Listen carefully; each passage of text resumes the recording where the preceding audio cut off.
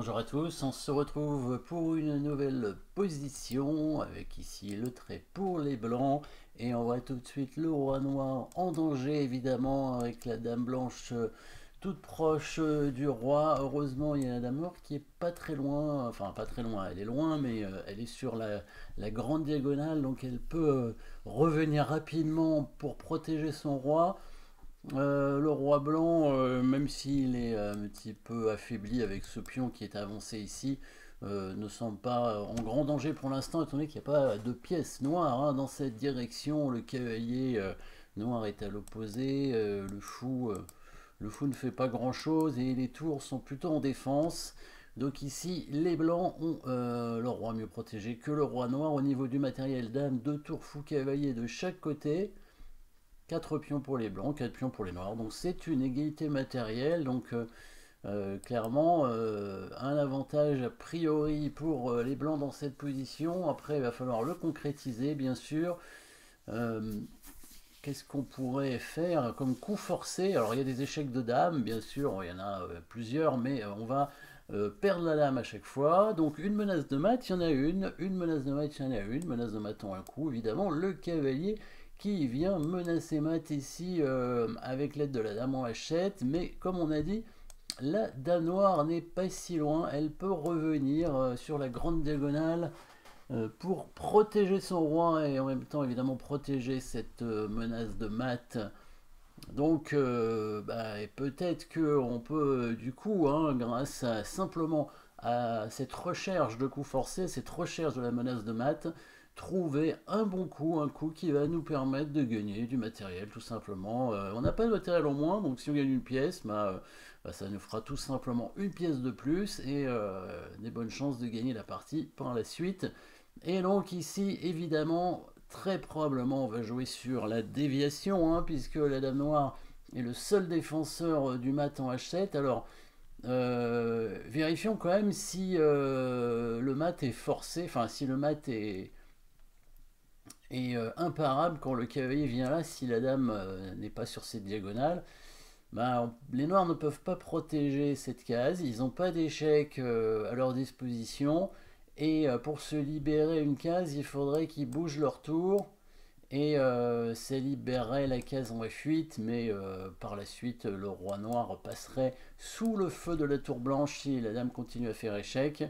Donc euh, on peut se dire que si la dame noire est déviée de cette grande diagonale, il y a toutes les chances de, le, mater, euh, ou alors en tout cas euh, de forcer la dame à rester dessus, et donc peut-être à gagner du matériel. Vous avez vu évidemment l'attaque double avec la déviation qui permet de gagner du matériel, tout simplement, ou de mater, tout dépend de ce que font les noirs.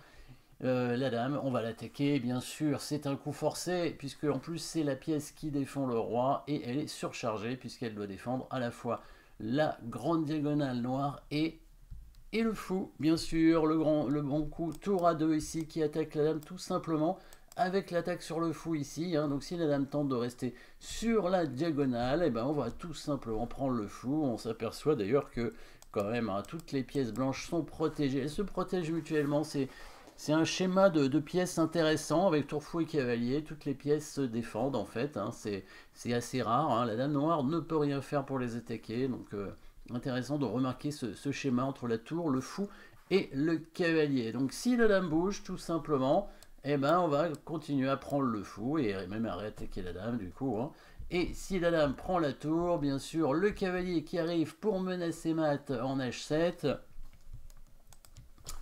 et euh, partie continue, hein. la tour bouge en 8. Euh, Alors on remarque que le mat ici hein, est protégé par la dame quand même, hein, qui a changé de diagonale, mais du coup qui protège quand même le roi. Mais euh, comme on a dit, le, roi noir va devoir passer sous le feu de la tour blanche après cet échec en H8. Alors ici, il ne faut pas se tromper, parce que si on tente de gagner la dame avec fou C4, c'est pas une si bonne idée, étant donné qu'on a déjà la dame attaquée.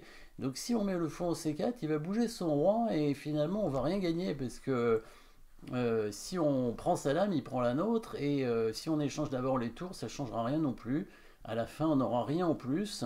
Donc euh, il va falloir chercher bah, tout simplement une menace plus forte. Hein. Évidemment, on va menacer très rapidement un mat avec le fou quand même qui va se découvrir bien sûr. Et on va le mettre un tout petit peu plus loin pour attaquer la tour ici en même temps. Donc euh, pas de possibilité pour les noirs pour couvrir l'échec, à moins de mettre une pièce en prise qui servira à rien puisqu'on la prendrait avec la tour. La tour noire est attaquée, donc euh, bon, bah, les noirs vont la perdre, c'est sûr, hein, ils vont simplement éviter le mat. Donc euh, le coup roi d6 probablement c'est le bon coup. on pourrait prendre la tour, mais on fait que récupérer le matériel, donc on va chercher mieux évidemment. On va chercher l'attaque, on va chercher le mat, et on va continuer à faire échec. On a dame, tour, fou, cavalier en attaque, ça devrait pas être mal. On continue à faire échec sans donner de pièces, en ramenant la dame évidemment. On centralise la dame devant le roi, hein. donc on voit la dame qui donne échec ici. Si le roi euh, vient en C7, il y aura l'échec en C6 euh, protégé par, euh, par le fou, et ça va être mat très rapidement.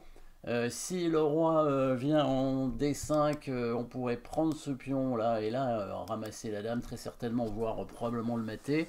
Et s'il couvre avec la tour, c'est peut-être le dernier coup qui reste. Alors euh, évidemment, il donne la tour contre le cavalier, mais euh, c'est pas très grave. Hein. Il, a une tour de plus, donc il peut se permettre de donner la, une, tour contre le cavalier. Si le cavalier prend la tour, il resterait quand même avec un cavalier de plus. Hein. Donc il faut encore se méfier. Et ici, trouver le bon échec avec les blancs qui va mater euh, assez vite. Il faut, être précis encore. Hein. Jusqu'au bout, il faut être précis bien regarder euh, la position. Euh, on pourrait prendre ce pion peut-être avec le cavalier, c'est pas un mauvais coup probablement parce qu'après on pourrait récupérer la tour gratuitement et continuer à avoir une attaque. Alors ça c'est un bon coup effectivement, cavalier prend pion échec, mais il y a un coup plus rapide pour mater. Un coup forcé, évidemment, vous l'avez trouvé, sans, euh, sans donner pièce, hein, non, tranquillement. La dame qui redescend en F4, faire échec. Et le roi noir est, vraiment très très embêté maintenant. Hein, euh, pas beaucoup de cases. S'il vient en E7, euh, on va tout simplement prendre le pion. Alors cette fois, on le prend sur échec, c'est encore mieux. Et enfin, avec la dame en plus, plutôt. Hein. et après, on va prendre la tour. Et pareil, on devrait mater assez vite. Par exemple, comme ça. Voilà. Et avec. Euh, est-ce qu'il y a un maton un coup ici? Non, je crois pas. Non, crois pas. Mais il y a des, il y a des en, plusieurs coups. par exemple, tour E4, tour E4 qui, qui fait échec et qui devrait mater au coup suivant, normalement, pas sûr. pas sûr ça va être au coup suivant. On va faire un maton de coups, tant pis. Hein. Bon, on pourrait prendre la dame, évidemment, hein. mais euh, on va faire un maton de coups. Peut-être qu'il y avait un mat euh, plus rapide. Bon, c'est pas très important. Euh, du coup, ici, le roi sur la dame qui vient en F4 vient en D5.